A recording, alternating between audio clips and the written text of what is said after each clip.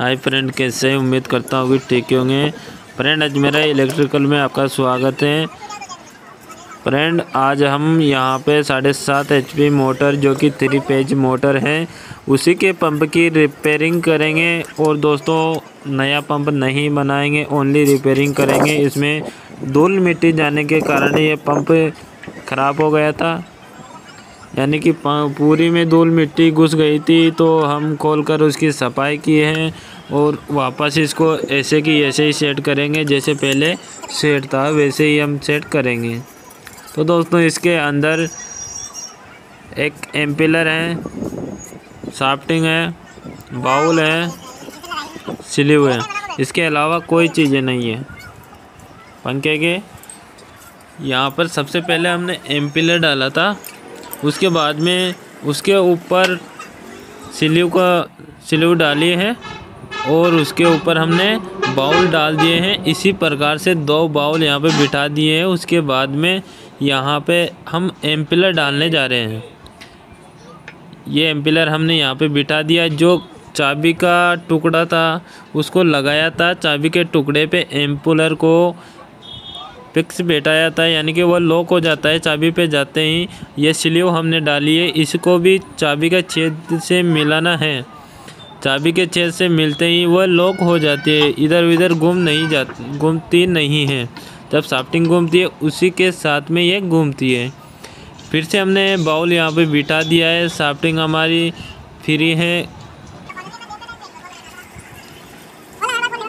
यहाँ पे फिर से हमने यहाँ पे चाबी लगा दी और चाबी लगाने के बाद में फिर से हम एम्पिलर यहाँ पे डालेंगे। ऐसे दोस्तों डालते हुए जाएँगे, इसमें हमें कोई वाशर सिम वाशर की ज़रूरत नहीं है, क्योंकि दोस्तों जब हमने इसमें खोला था तो उसी में भी इसमें ज़रूरत नहीं थी, सिम वाशर की और जगह भी इसमें ठीक ठाक थी। अगर दोस्तों आप पंप की सेटिंग अगर देखना चाहें तो नीचे आपको हम लिंक दे देंगे। हमारा दूसरे वीडियो में जाकर आप देख सकते हो। और ये हमने हमारे हाथ में दिखाई थी और सामने लगा के भी दिखाई थी। वह नेक रिंग थी दोस्तों, यहाँ पे रबड़ रिंग थी जो पानी लीकेज होने से रोकती है। यानी कि एम्पिलर से बाहर पानी पानी नहीं आ सकता। एम्पिलर और बाउल के अंदर ही पानी रहना चाहिए। रिंग ज़रूर लगाना चाहिए दोस्तों यहाँ पे। और अंदर की तरफ़ एक नेक रिंग भी लगी हुई है, जो कि पानी काटने का काम नहीं, रोकती है। यानी कि पानी काट, कटने नहीं देती है। जितना पानी एम्पिलर उठाता है, उतना ही बाउल के अंदर टिका रहता है। और बाउल दूसरे एम्पिलर तक पहुँचा देता है। नालियों के सहायता से ऊपर तक पहुँचा देता है।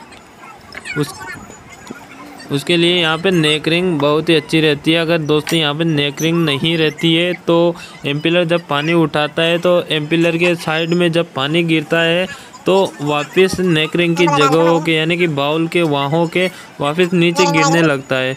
यानी कि मोटर तो गति करेगी, पंप भी गति करेगा, पानी ऊपर तक पहुँचाने की कोशिश करेगा।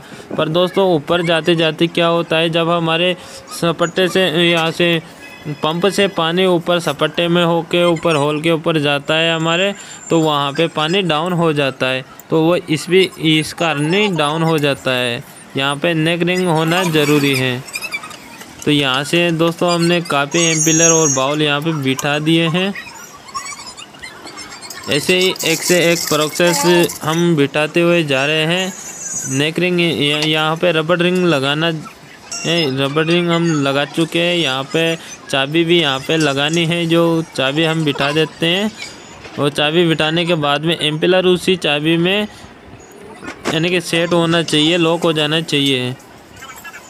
लॉक होने के बाद में एम्पिलर इधर उधर घूमता नहीं है है ना?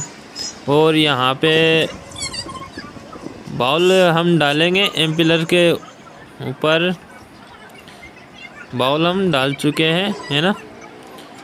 वो कंप्लीट हमारा जो एक एम्पिलर और आएगा, उसके बाद में कंप्लीट हम यहाँ पे पूरे पंप की भी रिपेयरिंग कंप्लीट हो जाएगी यहाँ पे।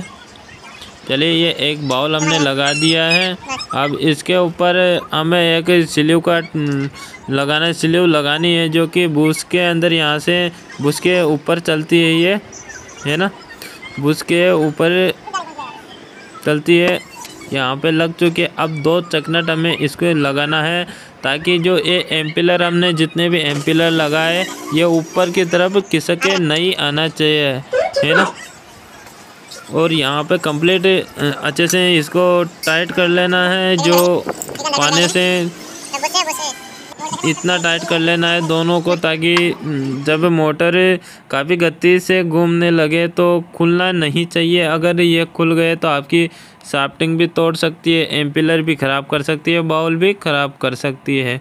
चाहे तो आप यहाँ पर, अगर अच्छे से आपसे टाइट नहीं हो पा रहा है या फिर उसकी चूड़ी वगैरह ख़राब है तो आप पेपी क्यूब का भी इस्तेमाल यहाँ पे कर सकते हो।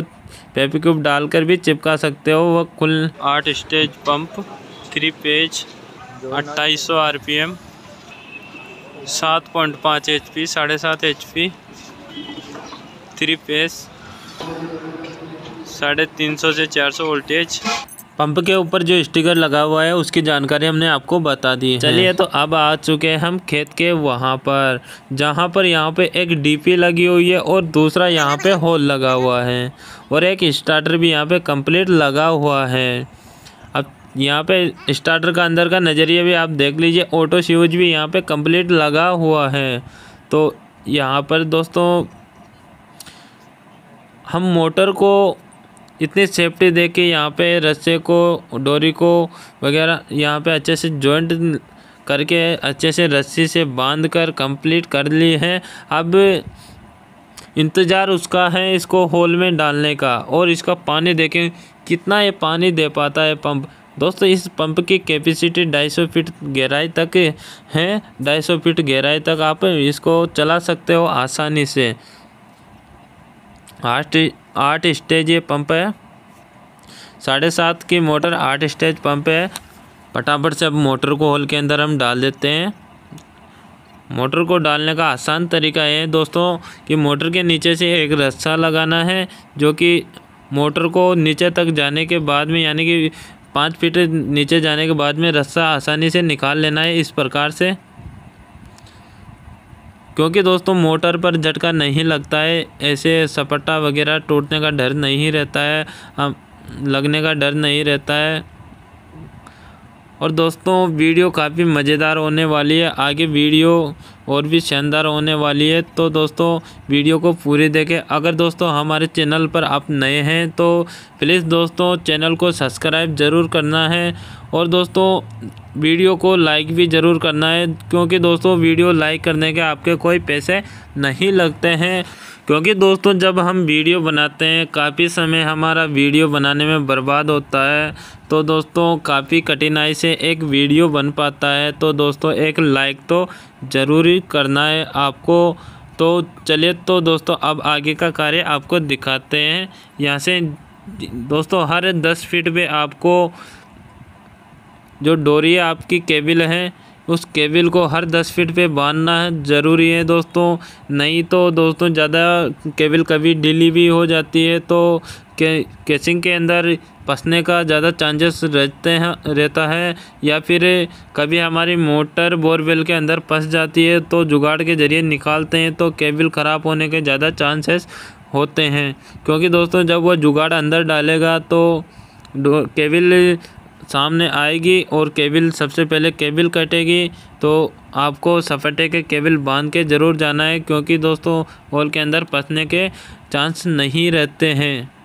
केबल को अगर अच्छे से सेफ्टी से बाँध कर आप डालते हो तो। यहाँ से मोटर को हमने पूरी कंप्लीट उतार दी। यहाँ पे दोस्तों मोटर को हमने 180 फीट पे उतार दी है। अब करना क्या है कि फटाफट से यहाँ पे इसको गांठ देना है और फटाफट से हमने मोटर चलाकर देखना है। कितना पानी ये देती है, चलिए उसको, उसी को हम चेक करते हैं। तो चलिए फटाफट से हम यहाँ पर बाँध लेते हैं।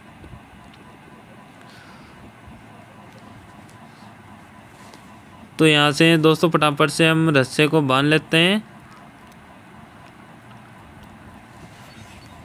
बांधने के बाद में दोस्तों यहाँ थ्री पेज की डीपी है, वहाँ पे स्टार्टर भी थ्री पेज का स्टार्टर लगा हुआ है। उसी स्टार्टर से इस मोटर को ऑन करके देखेंगे। चलिए कंप्लीट यहाँ पे तो हमने कंप्लीट कर लिया है होल पर। अब जो यहाँ पे सपट्टा पड़ा हुआ है सपट्टे को उठाकर अपनी ओर लेके आते हैं क्योंकि दोस्तों जब पानी देगी तो यहाँ पे पता भी चलना चाहिए कि कितना ये पानी दे रही है। पास में लेके आ गए हम यहाँ पे मोटर को ऑन कर दिया है। दोस्तों देखिए यहाँ पे काफ़ी ज़्यादा प्रेशर दे रही है। चलिए तो एक बार यहाँ सपट्टे को ऊँचा करके देखते हैं कि कितना ये पानी दे रही हैं। तो यहाँ पे देख लीजिए दोस्तों, कितना ये प्रेशर दे पा रही है। काफ़ी प्रेशर ये दे पा रही है दोस्तों। तो प्लीज़ दोस्तों वीडियो को लाइक और चैनल को सब्सक्राइब ज़रूर करें और बेल आइकन को भी प्रेस ज़रूर करें। इससे ये होगा कि हमारे नए आने वाली वीडियो सबसे पहले